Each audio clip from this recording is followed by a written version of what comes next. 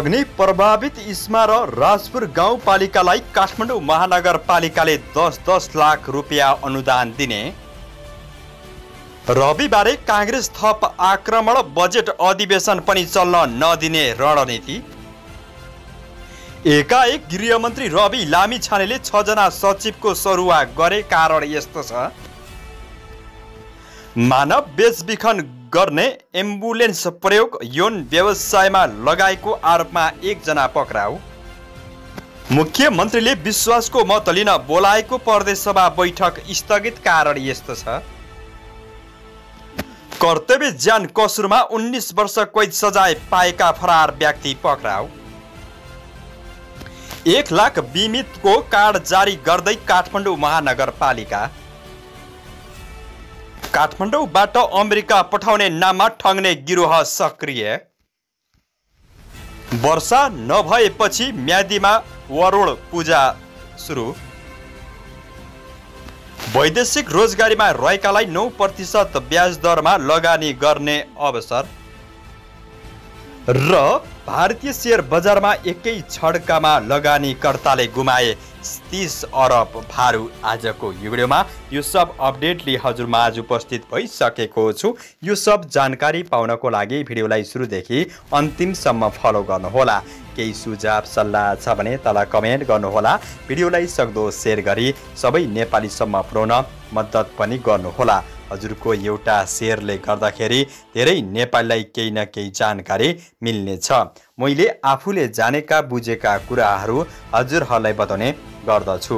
नयाँ आउनु भएको छ। अझै पनि हाम्रो च्यानलसँग जोडिनु भएको छैन भने सब्सक्राइब र साथमा रहेको घन्टीलाई दबाई हामीसँगै जोडिनुहोला। अब ढिला नगरिकन लागौँ आजको विषय वस्तुतिर दर्शकबिन वैदेशिक रोजगारीका लागि कुवेत पठाउने भन्दै नयाँ दिल्ली पुर्याएर यौन व्यवसायमा लगाएको आरोपमा पहिले एकजनालाई पक्राउ गरेको छ। मानव बेचबिखन अनुसन्धान ब्युरोले एकजनालाई पक्राउ गरेको सूचना अधिकारी एन एसपी गौतम मिश्राले जानकारी दिनुभयो। पक्राउ पर्नेमा दाङ बबई गाउँपालिका वार्ड नम्बर पाँचका पैँतालिस वर्षीय बहादुर भण्डारी रहेका छन्। उनले अर्को एकजनासँग मिलेर पीडितलाई कुवेत पठाइदिने भनेका थिए। त्यसका लागि भण्डारीले आफैले लगानी गर्ने र कुवेत पुगेर कमाएपछि तिरे हुन्छ भनेर पौलममा पारेका थिए। पीडित पीडित कुवेत जान तयार भएपछि काठमाडौँको नयाँ बस पार्कमा एउटा भाडामा लिएको कोठामा राखेका थिए।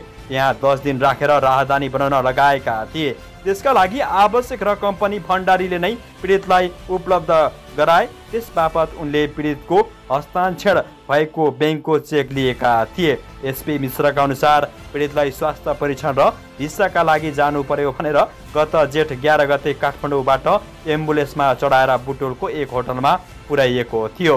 भारतबाट विदेश जाने प्रक्रिया छिटो हुने भनेर विश्वासमा लिएर बसमा चढाएर नयाँ दिल्लीको विमानस्थल नजिकैको फ्लाइ फ्लाइटमा राखिएको थियो तर पीडितलाई डर भएपछि युवत कुवेतमा, शोषणमा पर्न सक्ने भन्दै पन्चिन खोजेकी थिइन्। तर त्यही फ्लाइटमा राखेर यौन शोषण गरी अन्य भारतीय मुलुकका मानिसहरूसँग जबरजस्ती शारीरिक सम्पर्क गर्न लगाएको एसपी मिश्रले जानकारी दिनुभयो। एक महिनापछि असार तेह्र गते उनी उक्त फ्लाइटबाट भागेर नेपाल आएकी थिइन्। नेपाल आएर पीडितहरूले भण्डारी विरुद्ध मानव बेचबिखन अनुसन्धान ब्युरोमा जारी दिएकी थिइन्। घटनामा संलग्न अर्को एकजना प्रतिवादीको प्रहरीले खोजी गरिरहेको छ। यसमा प्रयोग भएको एम्बुलेन्स र चालक पनि खोजिरहेका छौँ एसपी मिश्रले भने। अनुसन्धान सुरु भएको छ थुप्रै कुरा खुलाउन बाँकी रहेको छ एसपीले भने।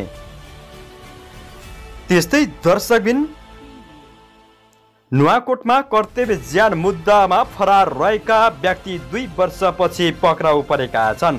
जिल्ला प्रहरी कार्यालयले ककनी गाउँपालिका वार्ड नम्बर दुईका अन्ठाउन्न वर्षीय भरत सुनारलाई पक्राउ गरेको डिएसपी तिलक भारतीले जानकारी दिनुभयो।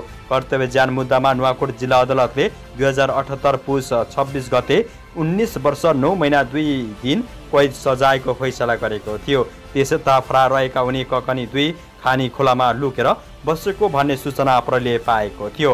उक्त सूचनाको आधारमा खटिएको प्रहरीले बिहिबार दिउँसो पक्राउ गरेको हो। उनको कैद सजाय भुक्तान गराउन शुक्रबार जिल्ला अदालत नुवाकोटमा पेश गराएको डिएसपी भारतीले जानकारी दिनुभयो। उनी कारागार चलान भइसकेका छन्।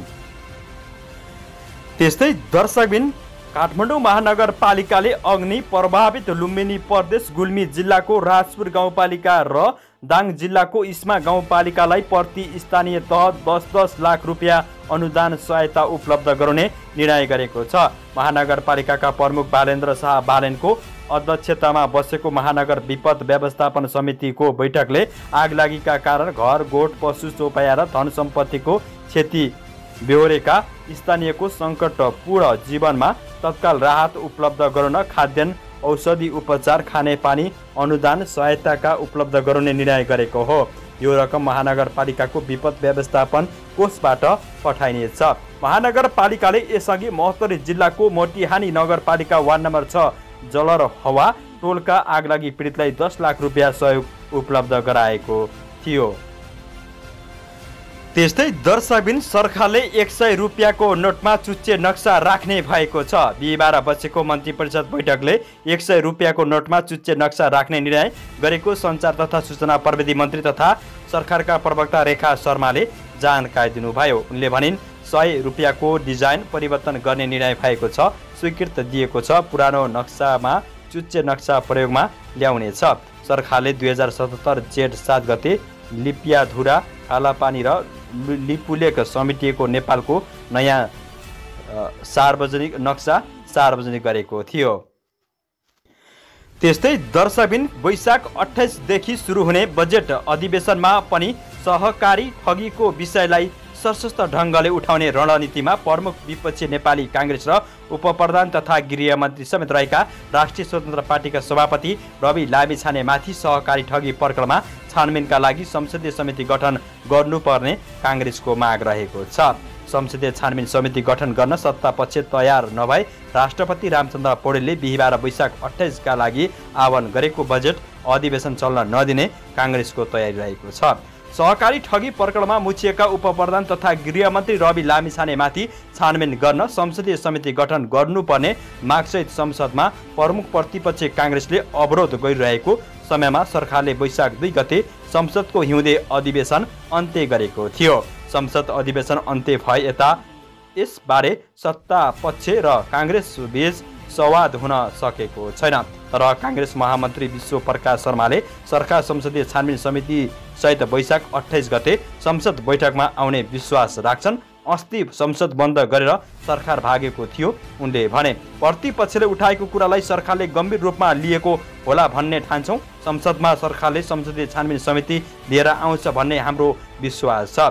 संसदीय छानबिन समितिका लागि सत्ता पक्ष तयार नभएसम्म संसद सहज ढङ्गले अगाडि बढ्न नसक्ने महामन्त्री शर्माको भनाइ छ। सरकारको नीति कार्यक्रम बजेटमा हाम्रो केही अवरोध हुँदैन तर संसदीय छानबिन समिति बनाउने हाम्रो मागबाट ब्याग हुने सम्भावना छैन उनले भने। वैशाख अठाइस अघि संसदीय दलको बैठक बसेर बजेट अधिवेशनबारे काङ्ग्रेसले रणनीति बनाएको छ। नेता शेखर कोइरालाले पनि संसदीय छानबिन समिति नबनेसम्म सदन चल्न नसक्ने बताए। सहकारी ठगीमा मुछिएका गृहमन्त्री लामी छाने संसदीय छानबिन समिति बनाउन डराउनुले आशंका पैदा गरेको उनको भनाइ छ। सहकारी ठगीमा गृहमन्त्रीको संलग्नता रहेको प्राप्त प्रमाण छ। संसदीय छानबिन समिति बनाउन डराउनुले पनि थप स्पष्ट पारेको छ। संसदीय छानबिन समिति गठन नभई संसद चल्दैन कोइरालाले भने।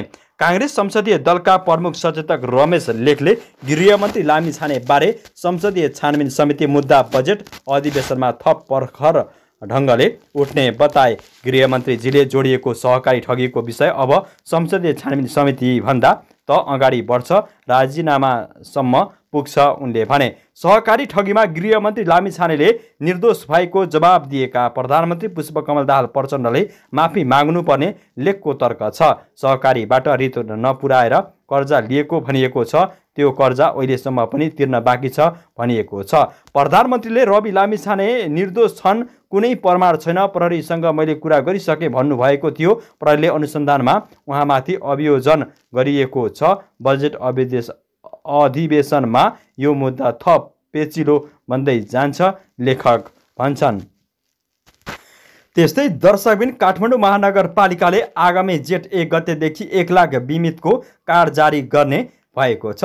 काम्पाभित्र स्वास्थ्य बिमा गराएका एक लाख बिमितको कार्ड जारी गर्न लागि जनाइएको छ। महानगरका अनुसार सबैभन्दा धेरै बिमित वडा नम्बर पन्ध्रमा रहेका छन्।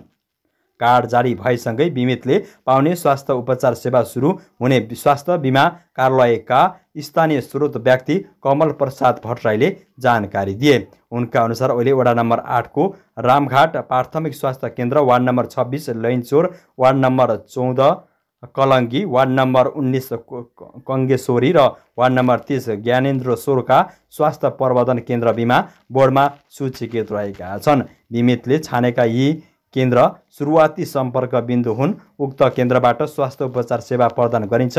यी केन्द्रमा उपचार नहुने जटिल प्रकारका रोगको उपचारका लागि सूचीकृत अस्पतालमा पठाउने स्थानीय स्रोत व्यक्ति भट्टराईले जानकारी दिए। यसरी प्रदान गरिने उपचार सेवा अनलाइन प्रणालीमा आधारित हुनेछन्। बिमा बोर्डले आफूले रकम भुक्तानी गर्नुपर्ने बिरामीको स्वास्थ्य उपचार र अवस्थाबारे अनलाइन प्रणालीबाट सूचना तथा विवरण थाहा पाउनेछन्। त्यस्तै दर्शकबिन छजना सचिवको सरुवा भएको छ। मन्त्री परिषदको बसेको बैठकले विभिन्न मन्त्रालयका सचिवहरूको सरुवा गर्ने निर्णय गरेको हो।